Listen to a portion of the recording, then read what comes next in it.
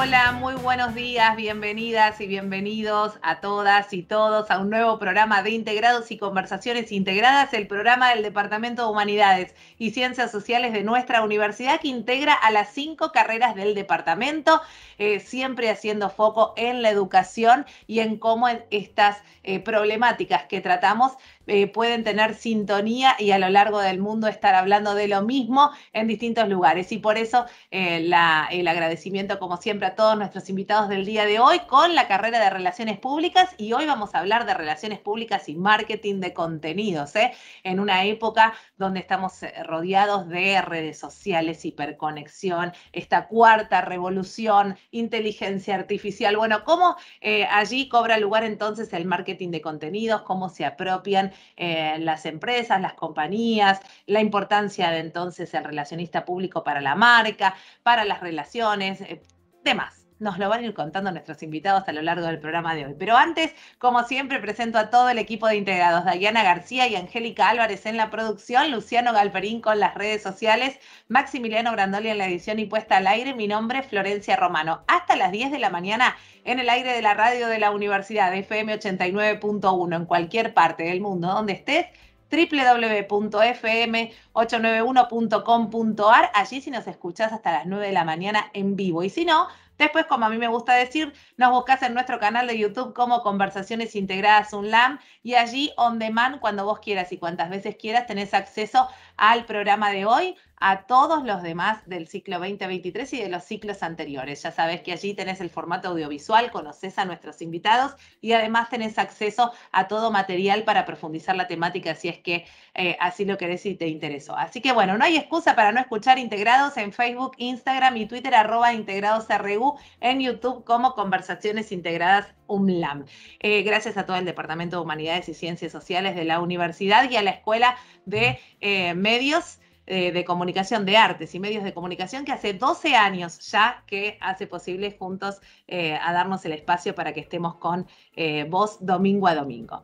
Ahora sí, presento a los que saben del tema del día de hoy. Como siempre que hablamos de relaciones públicas en nuestra universidad, estamos con Melody Galanti. Es magíster en políticas públicas, diplomada en políticas públicas para el desarrollo local y regional, licenciada en relaciones públicas, es docente de locución y oratoria en nuestra universidad, integrante también de la dirección de graduados y coordinadora de la licenciatura en relaciones públicas y la tecnicatura en ceremonial y protocolo de nuestra universidad. Melody, un placer, bienvenida. Hola Florencia, ¿cómo estás? Bueno, buenos días a todos los que nos están escuchando y un placer compartir este panel como siempre. Gracias, Melody. Un placer también encontrarte hoy. Eh, vamos a recibir desde Ecuador a Jorge Manuel Cueva Estrada. Es doctorando por la Universidad Rey Juan Carlos de España, máster en Administración de Empresas, diplomado superior en Gestión de Marketing y licenciado en Sistemas de Información. Ha publicado más de 30 artículos científicos y ha participado como ponente en congresos internacionales. Es docente e investigador de la Universidad Politécnica Salesiana del Ecuador, con sede Guayaquil, miembro del Grupo de Innovación Educativa Mejorando las Prácticas Áulicas y del Grupo de Investigación Socioeconómica y Empresarial GISE. Además, es editor en jefe de la revista Retos, indexada en Scopus, y coautor de Marketing de Contenidos y la Decisión de Compra del Consumidor de la Generación Y. Un placer, Jorge, recibirte. Bienvenido. Muchísimas gracias, eh, Florencia. Saludos desde acá, desde Ecuador. Y bueno, interesante conversar acerca de este tema que me apasiona mucho, que es el marketing. Muchas gracias, por la invitación. Jorge, bienvenido. Eh, vamos a recibir desde Colombia a Luz Dari Camacho Rodríguez. Es magíster en Administración de Organizaciones, especialista en Pedagogía para el Desarrollo del Aprendizaje Autónomo y docente por la Universidad Nacional Abierta y a Distancia de Bogotá. Es administradora de empresas por la Universidad Antonio Nariño de Bogotá y coautora del artículo Marketing de Contenidos, Realidad o Retos. Eh, bienvenida, Luz Dari, bienvenida. Un cordial saludo para todos, muy agradecida por esta invitación y poderles compartir un poco de mi experiencia en el tema. Gracias. Desde España recibimos a Isabel Adriana Vázquez Sacristán, doctoranda en Relaciones Públicas, Publicidad y Comunicación Aplicada por la Universidad Complutense de Madrid, máster en Protocolo y Relaciones Institucionales y licenciatura en Publicidad y Relaciones Públicas por la Universidad Francisco de Vitoria en Madrid, nominada a Mejor Profesora Universitaria de España 2023, es profesora universitaria en la Universidad Francisco de Victoria, especializada en marketing y publicidad, comunicación corporativa, organización de eventos, entre otros, y es coautora del artículo El video tutorial como formato publicitario de los productos de belleza de las marcas de lujo, estudio de caso de Chanel en YouTube, entre otros muchos trabajos que, como les dije, quedan disponibles para que ustedes vayan conociendo en nuestro canal de YouTube. Isabel, bienvenida, ¿cómo estás? Muchísimas gracias, saludos desde España y muchísimas gracias por esta invitación. Me hace mucha ilusión participar en este programa con vosotros. Gracias, un placer. Eh, y recibimos desde Perú a Andrés Macarachvili. Eh, cuenta con estudios doctorales en gestión estratégica de la Pontificia Universidad Católica del Perú, es magíster en marketing por ESAN, eh, es licenciado en marketing y bachiller de administración por la Universidad Peruana de Ciencias Aplicadas, posee experiencia profesional liderando la gestión del marketing en empresas del sector de servicios, es profesor auxiliar de la especialidad de marketing en la Universidad Universidad Católica del Perú, investiga y dicta temas relacionados a la gestión de las organizaciones, el marketing estratégico, el marketing de servicios, el marketing de propósito. Es coautor del artículo eh, Inbound Marketing como enfoque estratégico en el contexto de las startups tecnológicas dirigidas a negocios. Eh, así que un placer recibirte, Andrés. Muy bienvenido.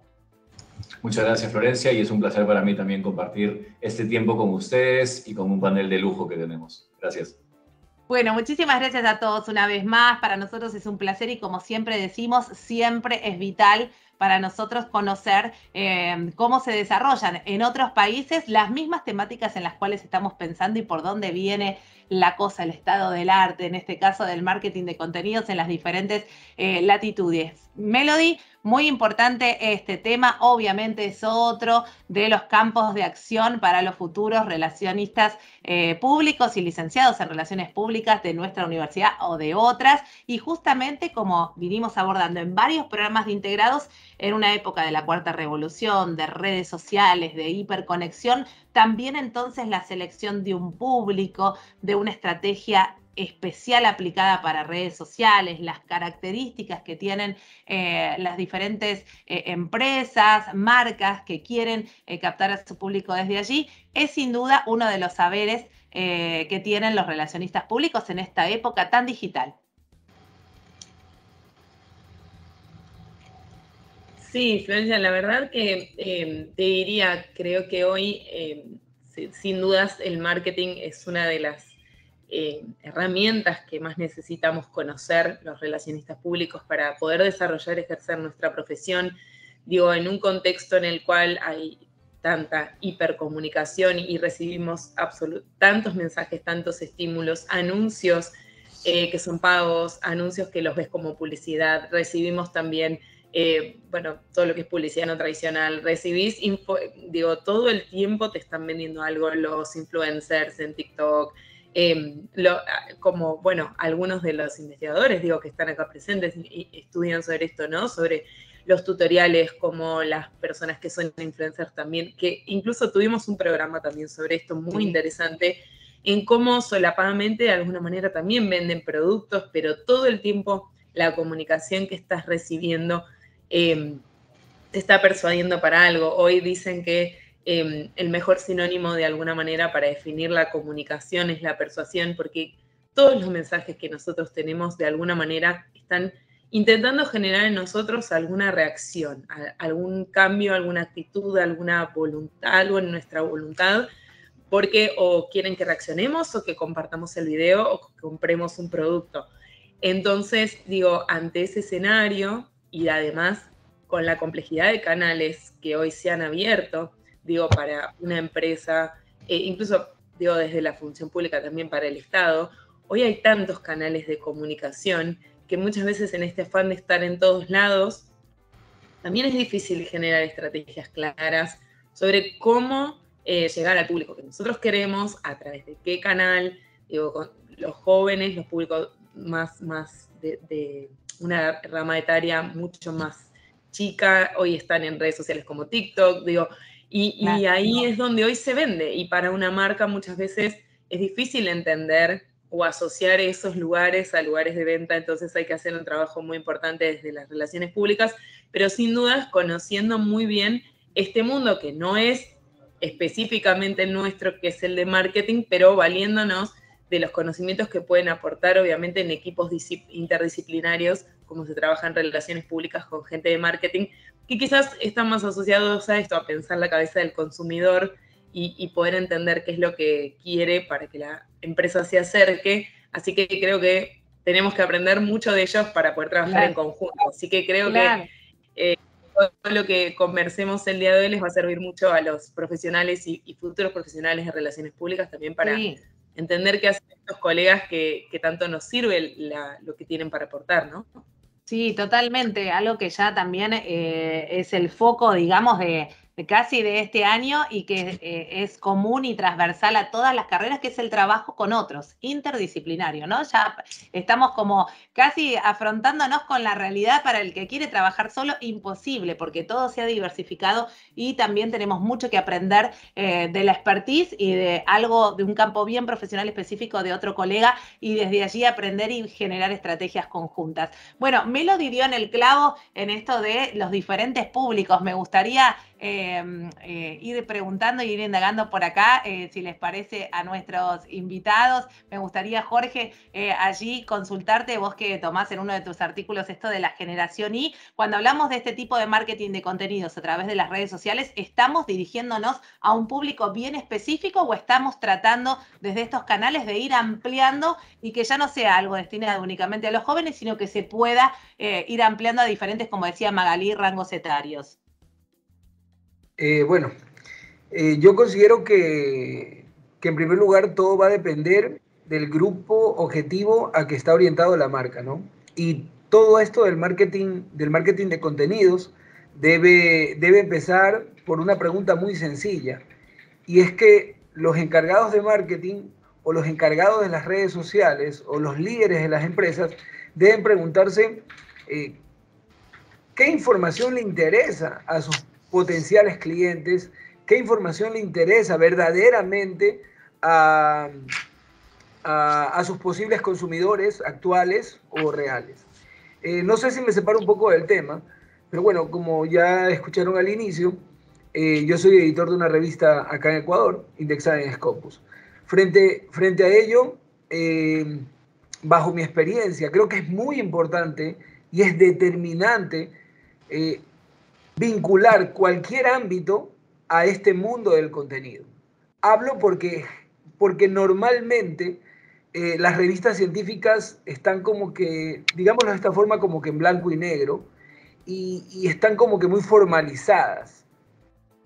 Cuando entramos con mi equipo de trabajo de retos a liderar la revista, pensamos que hay un mundo por explorar y pensamos que hay muchos jóvenes estudiantes y muchos jóvenes profesionales que tienen una perspectiva completamente diferente a los profesionales e investigadores, digámoslo de esta forma, antiguos. Entonces, nos metimos a las redes sociales, sabemos que por ahí es el camino, sabemos que por ahí tenemos que compartir, sabemos que por ahí tenemos que llamar y captar la atención de esos nuevos eh, profesionales, de esos nuevos profesores, de esos nuevos investigadores. Y la experiencia ha sido verdaderamente satisfactoria compartiendo siempre contenido de calidad, de interés y también contenido que haga que la marca, en este caso la revista, sea, eh, sea humana y sepa que detrás de una revista científica hay humanos que nos interesa y, y que agradecemos mucho el trabajo realizado por los investigadores, por los revisores, etcétera. Sí, eh, importante esto que decís, Jorge, porque eh, uno de los, de los fundamentos de este programa también es siempre tener en cuenta eh, la academia y el incentivo hacia nuevas vocaciones, en este caso también científicas de publicación, de compartir el conocimiento, ¿no? De esto, de, esto del conocimiento circular, que no quede simplemente para las paredes del aula, sino que trascienda. Así que es sumamente importante este llamado que decís y cómo en todos los ámbitos de la vida y de las profesiones y de los campos disciplinares se pueden encontrar eh, nuevas formas de acción. Isabel, te doy la palabra. Muchas gracias. Al hilo de lo que estabais comentando, me, surgió una cosa, ¿no? Creo que también tenemos que tener en cuenta no solo el medio ¿no? en el que están los jóvenes, sí, están en TikTok, están en Instagram, están en cientos de redes, en BeReal, todas las que se nos ocurran. Las marcas están ahí, ya sabemos que están ahí, hacen publicidad de todo tipo, hacen marketing de contenidos, pero creo que también la clave está en el lenguaje en el que las marcas hablan a través de estas redes. No, un poco al, hilo de lo que decía Jorge, eh, me venía ¿no? a la cabeza, eh, totalmente venimos de un mundo científico que es muy poco apetecible para la gente joven, es muy tedioso, pero lo mismo les ocurre a las marcas, a las marcas. me da igual si hablamos de cosmética, de ropa, de tecnología, muchas marcas se han quedado ancladas en un lenguaje que los jóvenes no comparten, se meten en las redes sociales en las que ellos están, pero les ignoran, por lo tanto no generan esas relaciones públicas o, los especialistas en PR buscan que el mensaje se extienda, que se, se extienda y si es posible de una manera orgánica. Y para mí la clave es el lenguaje y además la creatividad, ¿no? Me parece que siempre, eh, me parece que en Argentina y en España desconozco un poco cómo funciona en otros países, pero sí, por ejemplo, sigo mucho la publicidad argentina. Jugamos mucho con el insight, igual que en España, ¿no? Y el insight para, para mí es la base de conectar con el público objetivo, porque es donde estás conectando con él, estás hablando en su mismo lenguaje y es la única forma que tienes de enganchar en un mundo en el que el mismo producto se diferencia escasamente. ¿Por qué? Por el packaging. Entonces nos tenemos que diferenciar con la creatividad. Para mí ese es el punto el punto clave del marketing de contenidos, la creatividad y el, y, el lenguaje que utilizamos con estos nuevos jóvenes. Qué interesante esto que decís, Isabel, porque muchas veces, eh, digamos, ya no, se niega el rol de la, la, tecnología ni de las TIC como ayudan, pero sí que no sirve de nada esto que vos decís. Me, me, meto a TikTok, me meto a una nueva red social, pero si no sé utilizarla con los fines en los que busco, la tecnología por sí sola no va a ser magia, sino que hay que saber utilizarla eh, a nuestro favor, ¿no? Y esto que decías para ir bajándole a la gente que quizás no es del ámbito del marketing y demás, que decías esto de los insights, eh, ¿cómo lo puedes explicar para los que están escuchando y se quedaron pensando? Para, nuestros, para nosotros los publicitarios de base, los que nos dedicamos a la creatividad, para nosotros el insight es un, es un descubrimiento, es una verdad común, es, eh, pero un poco diferente. Es eso que te hace decir cuando ves un anuncio, eso a mí también me pasa. Es esa sensación, esa sensación, esa conexión, esa verdad un poco diferente, un poco canalla, un poco divertida, sentimental, emocional, depende de por dónde te lo quieras llevar. Ese es el punto en el que cuando el que tienes delante va al otro lado de la pantalla dice, ostras, eso a mí también me pasa, vaya, me han entendido, ese es el insight. Claro, bien, y ahí está entonces la comunicación efectiva, ¿no?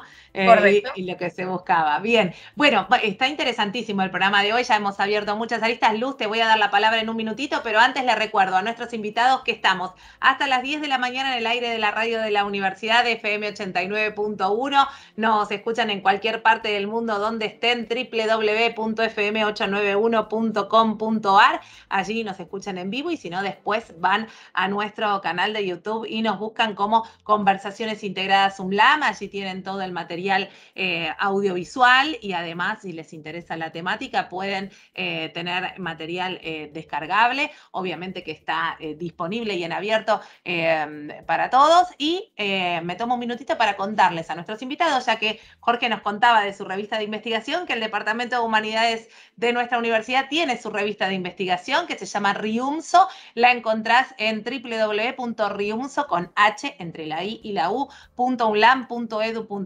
eh, para envíos. La convocatoria está abierta siempre de manera permanente, así que podés también visitar eh, la página de nuestra revista de investigación del Departamento de Humanidades y Ciencias Sociales de la Universidad Nacional de La Matanza. Hoy estamos hablando con la gente de la licenciatura en Relaciones Públicas del marketing de contenido. Hemos ya dado algunas aproximaciones con Jorge y con Isabel. Luz, eh, Dari Camacho desde Colombia, te doy la palabra. Gracias. Mira, eh, cuando empecé con el tema de marketing de contenidos me generó una serie de expectativas porque en los mismos estudiantes, pues uno escuchaba hablar del término, pero no tenían como esa claridad al respecto. Y al ver y interpretar que pues lo que busca es una estrategia de crear y capturar a ese cliente o a través de contenidos atractivos, sobre todo que sean personalizados, que voy muy de la mano con Isabel, donde el eje es poder conectarse con ellos y entender sus necesidades para que también vean el producto como parte de su satisfactor.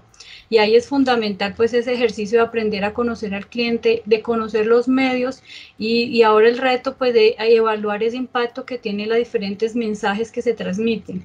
Eh, hoy en día, pues la, digamos, la misma revolución tecnológica ha facilitado una serie de eh, medios eh, donde deben de ser muy acorde con, nuestro cliente, ¿no? el video es fundamental, un podcast es fundamental. Entonces en eso surgen nuevas profesiones, surge el tema de los creativos, surge el tema de analizar pues, todos los datos, los impactos que tienen, el estar personalizando. Y eso fue un ejercicio muy bonito que se dio en la academia porque también pudimos aterrizar esas ideas y mirar cómo ellos desde su óptica de clientes podían ir a analizar cuáles eran los, los contenidos pertinentes o no en un ejercicio académico. Claro, qué interesante esto que decís, Luz, porque además, eh, viniendo desde tu, tu, desarrollo del aprendizaje autónomo, ¿no? Digo, tan importante porque lo que estamos buscando finalmente después hay que tomar una decisión y el consumidor actúa por, por sus propios medios. Entonces estamos buscando apelar también a esta capacidad de autonomía para después poder operar con ese producto eh, al que quisimos llegar y que tome o la decisión de compra o de hacer alguna acción eh, o demás. Así que qué importante esto de, de, la comunicación y otra vez esto de lo interdisciplinario, ¿no? Yo que vengo del ámbito de la comunicación, vos nombrabas al podcast, algo sumamente radial y audible y cómo se mete lo audiovisual también desde los videos, el tutorial, como nos contaba Isabel. Entonces es importante también este trabajo que nombraba Melody al comienzo, interdisciplinario. Andrés, te doy la palabra. Muchísimas gracias, Florencia. Y este, sumándome un poco a lo que colegas han comentado, ¿no? de la importancia de la creatividad, la, el tomar en cuenta el, el, público al que hablamos, el canal que utilizamos para hablarle a ese público, pero quiero resaltar la importancia de entender el, el tamaño o la magnitud de lo que es el marketing el marketing que desarrolla una organización, que muchas veces hoy en día, según cómo hemos entrado a esta disciplina, lo podemos entender como algo menor, ¿no? A veces me encuentro con personas que hablan del marketing como si fuera un sinónimo de comunicación, ¿no? Y, no, o sea, las comunicaciones es importantísima, tiene su propio proceso estratégico, pero forma parte de algo, ¿no? La disciplina de marketing viene a ser, para, desde mi perspectiva por lo menos, más grande, ¿no? Porque involucra también la parte comercial, involucra también el desarrollo del producto, que es lo que satisface la necesidad de un público, ¿no? Entonces, ¿cómo todo esto colabora? Y ahí es donde viene nuevamente la palabra de la interdisciplinaridad. Saber que desde donde hayamos, hayamos entrado a esta disciplina, estamos colaborando con diferentes objetivos y que tiene que integrarse, ¿no? No sé si pasa en otros contextos, pero acá en el Perú muchos errores que vemos en las organizaciones se deben a que comunicación y ventas están en áreas separadas y no conversan entre ellos, porque no, tú no me ayudas. Quiero hacer las cosas a mi manera, yo hago las cosas a mi manera y al terminar, la estrategia son distintas, el, el mercado recibe información diferente y bloquea. Ya prefiero no comprar porque no entiendo el producto. ¿no? ¿Eres esto o eres esto? Eso es importante tomarlo en cuenta al momento del desarrollo y resalto lo que mencionó Isabel de la, de la creatividad y la innovación, eh, porque estos, estas organizaciones, estas empresas que van a trabajar el desarrollo de contenido, sea a través de influencers o, los medios que sea, tienen que tener cierta, cierta flexibilidad para que se plantee la creatividad. Vemos ejemplos espectaculares, eh, por ejemplo, yo he visto de, Gas, que es un TikToker español, eh, hacer publicidad y que la gente lo ve como si fuera un video más dentro de su página de contenido. Eh, Javier Ibarreche, que es el que habla de cine en TikTok, también ha hecho publicidad y la, cantidad de vistas, comentarios y likes que tiene sus videos publicitarios terminan siendo igual de vistos que, cualquier otro video que él hace, porque la marca que decidió trabajar con él le dio esa libertad. Entonces, hoy en día estamos viendo muchos espacios creativos que responde a lo que también se conoce como el skip ad, que es esta tendencia del mercado de cuando me doy cuenta que es publicidad o una comunicación, la voy a saltar, no la quiero ver. Entonces, importa mucho ese trabajo creativo dentro del desarrollo de contenido. Sumamente interesante esto que planteas, Andrés. Melody, te doy la palabra. Ay, Andrés, cuando decía eso me hacía acordar, no, antes era el zapping en la tele, digo, antes era, bueno, no, me, no, llego a la publicidad cambio después, bueno, el, PNT, ¿no? La, publicidad no tradicional, que era como solapada dentro del programa, ahora estás viendo eh, a, un influencer ponerse una crema y te está diciendo, digo, siempre estamos tratando de escapar de alguna manera de, que nos vendan algo, pero como decía al principio, estamos todo el tiempo también recibiendo esos mensajes y, y, sí está con mucho esto que planteaba Isabel, ¿no? De la creatividad. Eh, yo trabajo en una disciplina, soy docente de oratoria y no puedo evitar eh, pensar en esta idea, también vinculado con, con, esto que planteaba Andrés, de la unificación del mensaje, sobre todo de quiénes somos, digo, volviendo sobre esta idea de los relacionistas públicos que tenemos certeramente muy clara, que es la identidad que tiene una empresa, una organización, y que de eso se desprenden los mensajes. Que yo esté en un montón de plataformas, a través de un montón de canales y dando mensajes en diferentes tonos, registros, no implica que me convierta en todas esas empresas. Sigo siendo una y creo que ahí está uno de los grandes desafíos que tienen hoy las organizaciones, que es poder adaptarme a todos los públicos, estar en todos los canales, en todos los mensajes, pero seguir siendo yo, seguir eh, respondiendo a esa identidad que uno planteó. Y creo también, eh, por eso decía lo de oratoria, nosotros algo que tenemos muy claro desde la oralidad, es que cuando nosotros le hablamos a un público, eh, hay varias cosas que tratamos de hacer y una es apelar a la voluntad, digo, la compra eh, o la, toma de una postura, la racionalidad dándole argumentos lógicos, ¿no? Para que, bueno, compres este producto y no otro, el envase nuestro es más práctico, tomando lo que decía Isabel, pero fundamentalmente si hay algo que tenemos claro es que si vos no apelás a la emotividad, a la emoción y a esa conexión desde los sentimientos, desde algo que realmente pegue en el corazón, en la experiencia, en la vivencia del que te está escuchando, como dijo Andrés, salto el anuncio porque esto no me llega, no, me, no, pasa esa verdad mágica que, planteaban al principio, ¿no? Esto de, bueno, sí, realmente me siento identificado con lo que me estás contando, hay una historia, ¿no? Este storytelling que, del que tanto se habla de alguna manera tiene que estar en todos nuestros mensajes y pensaba, ¿no? Nosotros estamos atravesando, por ejemplo, una campaña electoral. ¿Cómo eh, tenemos, eh, digamos, esa dificultad de transmitir algo racional, explicar un programa, pero también a la vez tener que llegar a los sentimientos de la gente? Nos pasa con ver, ver quizás a políticos en plataformas como TikTok y hasta incluso genera rechazo en las audiencias cuando uno pensaría que bueno, pero yo estoy en TikTok. Sí, claro, pero si uno no la utiliza en el código o en el mensaje, en la forma, en el registro que se utiliza en esa red, que esperan los usuarios de esa red, parece como que está fuera de lugar. E incluso me parece que genera todo lo contrario, ¿no? Totalmente. Y bueno, eh, eh, retomando ese punto que decís vos, eh, Melody, Jorge, me gustaría preguntarte, en base a tu experiencia y tu expertise, entonces, ¿qué es lo que tenemos que... ah, no sé si está Jorge, por ahí justo, justo se me fue. Bueno, Isabel, te doy la palabra que seguro va en relación con esto que estaba hablando. No, ¿levantaste la mano o no? Sí. Sí, pero sí, si quieres hacer la pregunta, hazla. No, no, por favor, continúa, continúa. No, que en relación a lo que decía Melody sobre lo, la dificultad que tiene, por ejemplo, ahora mismo los partidos políticos de conectar con la gente joven, ¿no? Me venía a la cabeza, que vosotros lo habréis vivido igual, el boom que, hubo hace escasamente un año con el metaverso. El metaverso. Todo el mundo hablaba de metaverso, todas las marcas no tenían tampoco muy claro lo que era, mm, hablaban de Sandbox, de Centraland, pero no Fortnite de repente, o sea, nadie tenía muy claro lo que era el metaverso ni qué hacer y claro, te encontrabas con situaciones, ¿no? Yo hablaba con los jóvenes en clase que me decían, pero a mí qué más me da que una marca de gasolinera si yo no tengo coche, yo no he hecho gasolina, yo voy en transporte público, haga un metaverso en el que yo puedo mm, jugar una carrera de coches y ver los descuentos que tienen en diésel, gasolina.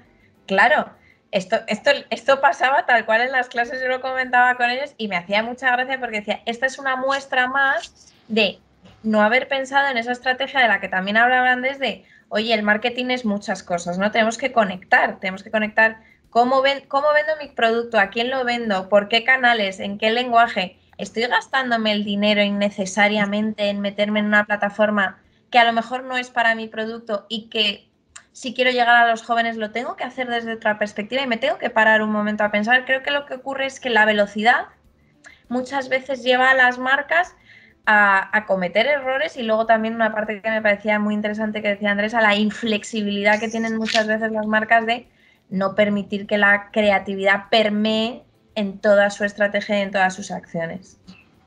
Sí, totalmente interesante esto que decís, Isabel. Y en este punto, entonces, Luz, voy contigo, eh, porque quiero preguntarte acerca de entonces justamente si a nosotros vienen y nos busca una marca, eh, una empresa, un negocio y quiere eh, iniciar, por ejemplo, eh, en las redes, llegar a un público y demás, ¿cuáles serían las estrategias básicas o las primeras estrategias a la hora de pensar en posicionar una marca a través de una red social, por ejemplo? Eh, desde mi experiencia partiría en la recomendación inicial es que qué mensaje quieren transmitir y qué es lo que quieren realmente, cuáles son los sentimientos o cuáles son como esas experiencias que quieren despertar en su mercado objetivo, que es fundamental nuestras expectativas pueden variar, eh, a veces desde el cliente, desde el productor, la visión que tiene su producto es muy diferente a como la percibe el cliente. Y ahí es fundamental partir de eso, de hacer una caracterización, de mirar cuál es el mensaje que quieren transmitir y realmente cuál es la experiencia que quieren. Hoy en día pues hablamos que es muy importante el personalizar nuestro producto y hacerlo mucho más cercano a cada uno de nuestros clientes y ahí es fundamental como esa estrategia de contenido que se pueda generar el análisis de datos, eso es una herramienta que les proporciona cuáles son sus gustos, sus expectativas, sus deseos, qué los motiva y ese sería como el punto de partida para poder dinamizar como esa estrategia de marketing de contenidos. Bien, eh, Andrés, en este punto hay alguna terminología que me gustaría ir eh, conociendo eh, con vos y que les puedas explicar a nuestros oyentes, como por ejemplo lo que nombramos hoy, que eran las startups, lo nombrábamos en tu presentación y creo que vos también por ahí lo nombraste, y cómo es también a veces esta colaboración entre empresas, ¿no? Entre, entre la mezcla de los propios productos, business for business, ¿no? Algo así, o B2B, van a encontrar nuestros oyentes también en muchos papers y en muchos estudios sobre esto.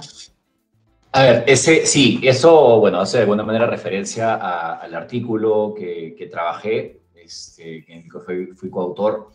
Eh, y claro, las startups, en, en, poco, o sea, explicado en, sencillo, son emprendimientos, ¿no? que suelen estar de alguna manera ligados, la tendencia es que de alguna manera han estado vinculados a tecnología, ¿no? es, de alguna forma es un emprendimiento ligado a algún concepto tecnológico, eh, pero uno puede desarrollar cualquier tipo. Es el inicio de una organización y cuando pasa el Valle de la Muerte, que son los primeros años, los primeros retos, ya se puede convertir en una empresa eh, con una mirada de sostenibilidad.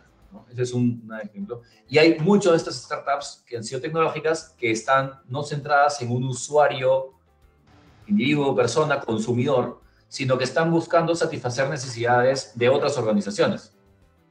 ¿no? Entonces, ¿cómo, ¿cuál es el reto de poder trabajar una estrategia de, contenido, ¿no? donde hay un contenido informativo, al mismo tiempo entretenido, pensando en las múltiples personas que toman decisiones de contratación en otra organización, donde hay un gerente o una persona que se encarga de usar la solución, que es el usuario, pero otra persona que se encarga de realizar la, negociación de la compra, eh, que evalúa diferentes proveedores y otro que es el que suelta el presupuesto. Entonces, ¿cómo terminas hablándole a los diferentes individuos que toman parte en el proceso de decisión de contratación de empresa a empresa?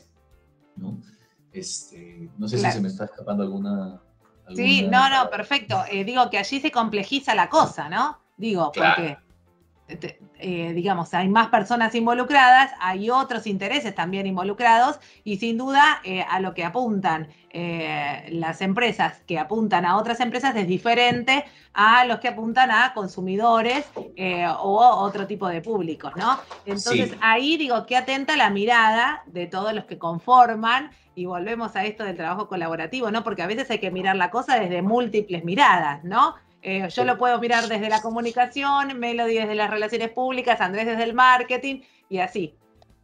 Y eso, y eso que mencionas de la colaboración, este, justo ayer hemos, estamos viendo en Perú uno de los casos de colaboración entre organizaciones que nunca antes habíamos visto, por lo menos acá.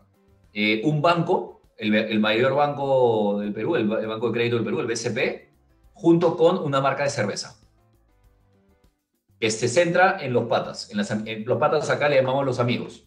Mm. Este, y es una, una, una, unión que busca desarrollar eh, cultura de ahorro en los jóvenes, mirada del banco, para hacer planes con tus patas, sea de emprender, sea de irte de viaje, sea lo que sea. Entonces, los patas, la cerveza, eh, cerveza retornable, sea, han hecho una cosa espectacular y que ha reventado justo el día de ayer en redes sociales, creando contenido propio, ganado, hasta memes han, desarrollado a raíz de eso. Una marca que no participaba para nada, que tenía una P similar, se metió diciendo, hola, me llamaron. O sea, está haciendo las cosas increíbles en este tema de cómo poder colaborar también entre diferentes marcas que buscan llegar a un mismo público y que van más allá de, lo, de, los paradigmas o de los estándares, ¿no? o sea, de romper, romper esquemas.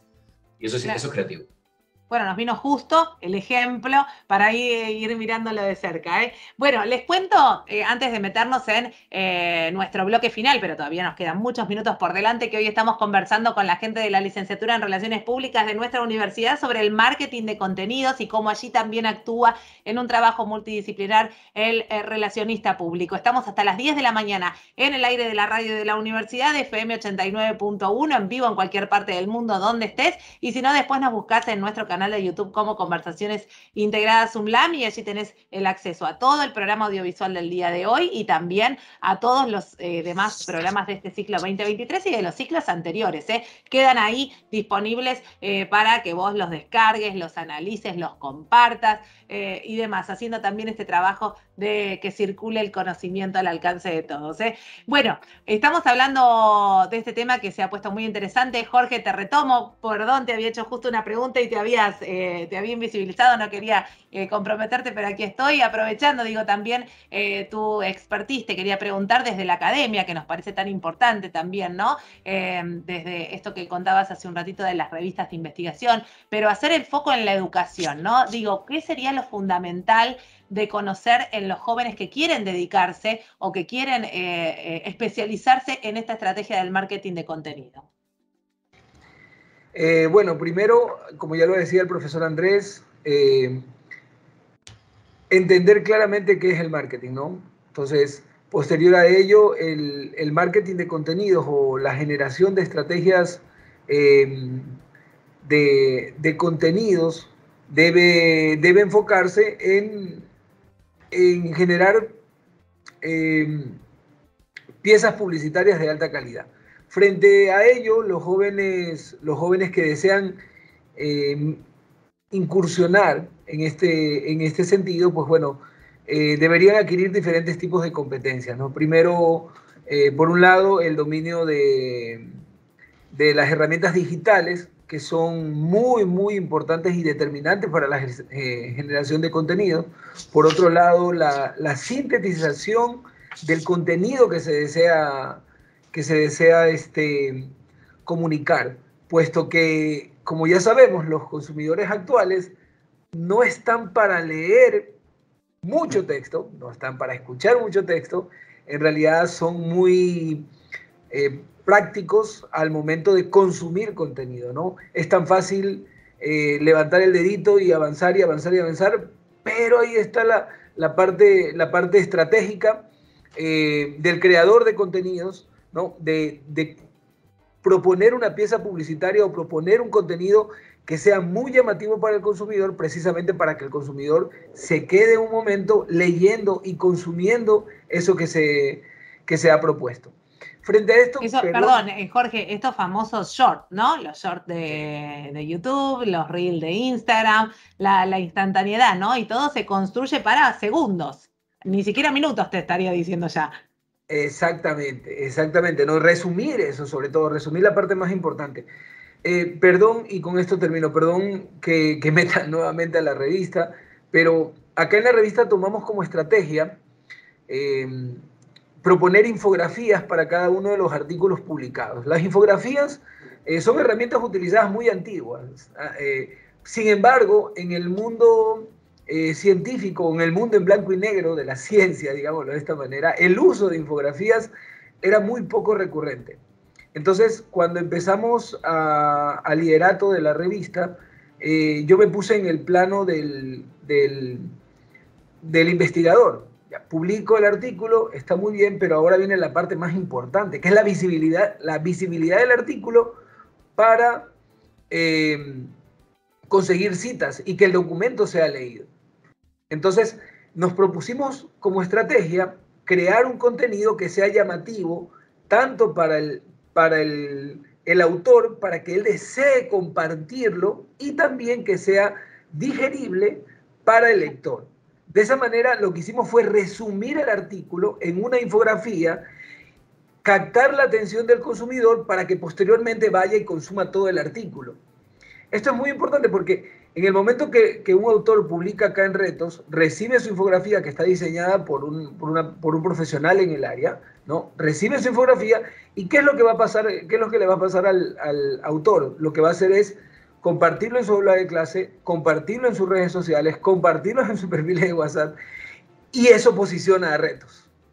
Entonces, ahí la importancia del, del uso adecuado y de buscar estrategias para captar la atención de, los, eh, de los potenciales clientes, de los potenciales consumidores, ¿no? Sí, sí, de cada público. Interesantísimo. Luz, te doy la palabra y ya les digo que después de Luz empiezo la ronda de eh, conclusiones para que cada uno pueda dejar dicho lo que le parezca del programa de hoy o líneas de acción o de pensamiento hacia un futuro. Luz, te doy la palabra. Sí, quería complementar lo de Jorge. Desde la academia vemos fundamental que para el marketing de contenidos pues se necesita eh, una serie de competencias eh, que se deben de dinamizar desde la parte creativa, desde el manejo de la escritura, el tema de la comunicación efectiva, todo el tema del análisis y la capacidad de investigación que se pueda eh, indagar, conocer, eh, el tema de la adaptabilidad. Eh, hoy estamos en un contexto muy cambiante, muy rápido, donde cada momento pues es crucial y eso hace que se requiera tener como esas habilidades. Adicional a pues obviamente todo el tema de conocimientos técnicos sobre las diferentes herramientas. Sí, sumamente importante esto de apelar a las competencias, ¿no? Desde, desde la educación ya es un tema que, que está muy, muy claro el norte de ir hacia, hacia las competencias, ¿no? Que muchas veces exceden a lo que es el conocimiento técnico de cada cosa, sino otras competencias que tienen que ver con esto, con la creatividad, con el saber hacer, con la empatía, con buscar eso que decís, Abel, ese clic, es el llegar al otro, y eso muchas veces no se enseña. Eh, es lo que uno trae consigo y lo que también trae eh, el trabajo con otros, ¿no? Y ir aprendiendo de los demás. Jorge. Sí, solamente para, complementar lo que decía Luz, entonces pudiéramos decir que el conocimiento eh, de herramientas digitales para, la creación de contenido multimedia debe ser una competencia transversal. Pues ya se ha vuelto necesario ello, ¿no? Entonces ya no podemos decir que es solamente una carrera, pues también debe ser una competencia transversal, porque el contenido toma mucha más importancia como lo hemos analizado actualmente. Totalmente. Melody, eh, quería empezar con vos las conclusiones, eh, por si tenés que dejar el espacio, pero te doy la palabra porque seguro que querés agregar algo sobre esto. Sí, eh, pedía sí, la palabra por, las dudas. Nosotros tenemos justo ahora una, actividad acá en la universidad, pero em, sí con, con respecto a esto que decía, bueno, por ejemplo, pensaba en nuestra carrera. Nosotros en la licenciatura en Relaciones Públicas tenemos como materia eh, marketing, tenemos como materia publicidad. Eh, incluso muchas veces eh, nos pasa en, hablar, incluso con otra institución, que quizás, ¿por qué habíamos esta idea de por qué se incluye eso, no? ¿Por qué se daba marketing? Digo, nosotros no vamos a ser especialistas claramente en marketing. por eso hay profesionales también que claramente se dedican a eso y hacen una carrera específica pero sí es importante empezar a hablar los mismos códigos con los otros profesionales, porque esto también es un problema fundamental, porque a lo largo de, todo todo este programa hablamos muchísimo de esto de la interdisciplinariedad, de hablar con los otros profesionales, pero muchas veces en las empresas o en las organizaciones, precisamente pasa esto que mencionaba muy bien Andrés, de que se dan mensajes muy diversos, o parecen que son equipos que trabajan de forma diferente, porque no saben trabajar en conjunto o porque no entienden y llaman a las mismas cosas de la misma forma. Y ahí creo que eh, es clave, ¿no? Volver a esta idea de que el trabajo, como bien se ha dicho, del marketing de contenidos requiere de habilidades blandas, de habilidades duras, de la huella digital, del manejo de datos, con todo lo que pasa hoy con inteligencia artificial, con todo lo que pasa con la Big Data. ¿no? Hoy tenemos la posibilidad de acceder a toda la huella digital que deja una persona en las redes sociales, en, su manejo virtual. Y está bueno poder aprovechar todo eso de insumo, pero realmente creo que la clave en, esta parte de nuestra disciplina es, si no aprendemos a trabajar, digo, los relacionistas públicos quizás, bueno, no, a mí los números no me gustan, a mí, eh, digo, y empezamos cada uno, viste, dice, no, bueno, a mí la parte comunicacional, no, yo con esa parte más emocional no me quiero meter porque nosotros somos súper académicos y, digo, hablando un poco de todo lo que planteamos hoy, creo que es vital que todos de alguna manera bajemos un poco, digamos, en definitiva tenemos que aprender a hablar el mismo idioma, a poder comunicarnos entre nosotros y a partir de eso sí poder crear estrategias y demás porque va a ser mucho más fácil. Por eso es vital que en las carreras eh, y que los profesionales, eh, independientemente de la disciplina que, seamos, hoy por hoy eh, hay ciertas áreas en las cuales no podemos decir, bueno, esto a mí no, no, no es lo que a mí me agrada. Ok, no te digo que lo aprendas y que lo hagas como carrera, pero por lo menos tenés que saber lo que es la Big Data, tenés que saber lo que es la inteligencia artificial, tenés que aprender conocimientos básicos de publicidad, de marketing, de contenido digital, porque si no, eh, te va a ser muy difícil insertarte en el mercado laboral y trabajar y ofrecer una estrategia eh, unificada por parte de una organización. totalmente. Eh, estar atentos siempre a los problemas emergentes y a los problemas que están vigentes, ¿no? Siempre. Melody, te agradecemos, te quedás ahí escuchando hasta donde puedas, cuando vos tengas que desconectarte, hacelo con total tranquilidad y te agradecemos como siempre la participación en el programa de hoy. ¿eh? Por favor, muchas gracias. Me, encantó escucharlos a todos. Creo que, como decía, es muy valioso el aporte que tienen otros profesionales eh, para hacer y para nosotros escuchar también sobre esto, que muchas veces el relacionista público ha quedado medio alejado de la venta de lo comercial. No, tenemos que ser parte integral de, esta estrategia también, pero me quedo escuchándolos, por supuesto. Gracias, Melody, un placer. Eh, inicio ahora que ya iniciamos con Melody la ronda de conclusiones. Eh, voy con cada uno. Isabel, si te parece, sigo contigo. Lo primero, muchísimas gracias por invitarme y bueno, mi conclusión la voy a hacer eh, en el lenguaje porque entiendo que nos están escuchando muchos jóvenes, entonces voy a hablar para ellos y les voy a decir que si tienen 20 segundos para convencerme de algo, lo hagan tocándome el corazón, la cabeza o la sonrisa, que es muy importante que conecten con sus públicos, que como decía Melody, aprendan de todo, porque a día de hoy no tenemos... Mm, eh, tiempo para pararnos en una sola disciplina. Tenemos que intentar beber un poco de todas y sobre todo que no se cansen nunca de aprender porque mm, si no, mm, su futuro no es el que ellos les esperan. Muchísimas gracias por todo. Por favor, un placer, Isabel. Eh, Jorge, voy con tus conclusiones. Bueno, igualmente muchísimas gracias por la invitación y agradecido a todos los, los colegas aquí presentes. Eh, bueno, yo creo que el marketing de contenidos se ha convertido en un pilar fundamental para la gestión empresarial. Eh, y por otro lado, también tenemos que analizar, o como futuras líneas de conversación, analizar la transformación que ha tenido eh, ese, digamos, ese icono publicitario, que ahora el icono publicitario ya está cambiando por una persona común, por una persona cualquiera, digámoslo de esta forma, quien recomienda a otras personas. Y la recomendación tiene un poder mucho más fuerte que una publicidad per se. Entonces, por ahí puede haber eh, nuevas líneas de investigación. Y hago este comentario porque acá en Ecuador hay un, un supermercado que no voy a decir la marca, que desde mi punto de vista creo que ha movido muy bien las recomendaciones y en TikTok se ve se ve que todo el mundo recomienda, recomienda, recomienda, recomienda, pero es una persona cualquiera.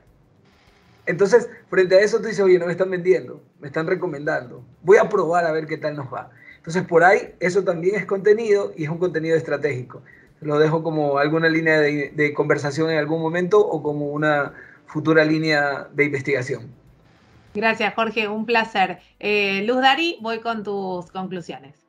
Gracias, agradecida por esta invitación, por esta conversación que tuvimos en esta hora y para mí consideraría invitarlos a que miren el marketing de contenidos como ese engagement, ¿no? O sea, es como esa manera de poder fomentar esa interacción con nuestros clientes y que sean ellos los que nos enseñen a comunicarnos con la, con la empresa y con ellos mismos, ¿no? Esa es todas las oportunidades que ofrece esta herramienta es fabulosa eh, y bueno, a medida que evoluciona nuestra economía, nuestro mercado, también evoluciona este marketing, que ofrece un sinnúmero de posibilidades. Gracias, Ludari, un placer. Andrés, cierro contigo. Muchísimas gracias, me sumo a los agradecimientos por la, por la invitación. Este, tomo muy rápido lo que tú mencionó Isabel de hablarle al corazón, a la mente o a la sonrisa, y es que el, el marketing de contenido busca emocionar, informar o entretener, ¿no? Entonces, este, me hizo recordar eso. Pero mi cierre va por eh, dos puntos. Primero, tener mucho cuidado con los indicadores de vanidad, que son esos indicadores que están muchas veces ligados al contenido, que, ah, mira cuántos likes, cuántos compartidos, pero si no se traslada a los objetivos de la organización o del producto o de la marca, eh, no sirven de nada. Entonces, cuidado con esos indicadores vanidosos, ¿no? Y segundo, se ha hablado bastante de la interdisciplinaridad creo que a todo el mundo le puede sonar súper importante, valioso, necesario, todos deberíamos hacerla, pero la hora de la hora, en la cancha, la ejecución de la interdisciplinaridad es un reto diario, es un esfuerzo constante. No es fácil salirse de lo que uno conoce y uno ve en base a su propia historia y tratar de verlo desde la mirada del otro. Y necesario para la interdisciplinariedad trabajar la empatía. Necesitamos saber ser empáticos para entender cómo el otro está viendo la misma realidad que vemos nosotros desde nuestra disciplina. Y eso, con eso cierro. Gracias. Totalmente, fundamental esto último, eh, hablamos de competencias y también ahí trabajar en las competencias emocionales, ¿no? Tan importantes eh, para, un trabajo interdisciplinario y, colaborativo y demás. Así que bueno, un placer, yo he aprendido muchísimo. Lo que yo me llevo de cada uno de los programas, ustedes no imaginan cuánto, cuánto me suma, porque aprendo de todas las carreras y de tan profesionales, tan eh, generosos para compartir el conocimiento como han sido ustedes. Así que les agradezco muchísimo el programa del día de hoy. Gracias, como siempre, a todo el Departamento de Humanidades y Ciencias Sociales de nuestra universidad, que hace posible que esté este programa junto con la Escuela de Artes y Medios de Comunicación. Hace 12 años que nos da este espacio para poder hacer este y otros programas que nos llenan realmente no solo de conocimiento, sino también de un montón de experiencias para nuestros campos de acción. Así que muchísimas gracias a todo el equipo de integrados, Diana García, Angélica Álvarez en la producción, Luciano Galperín con las redes sociales, Maximiliano Brandoli en la edición y puesta al aire. Mi nombre, Florencia Romano. Gracias como siempre a todos los coordinadores también eh, que hacen posible y que nos acompañan en cada una de las emisiones y nosotros nos volveremos a encontrar, si Dios quiere, el próximo domingo, bien tempranito, por el aire de la radio de la universidad o en nuestro canal de YouTube, como a mí me gusta decirles siempre, ahí al alcance de un clic para descargar el programa y escucharnos. Así que nos veremos la próxima. Muy buena vida para todos. Chau. Nos vemos. Alimenten tu mar, porque siempre creí, siempre estuviste aquí, atravesándonos desde el principio al fin.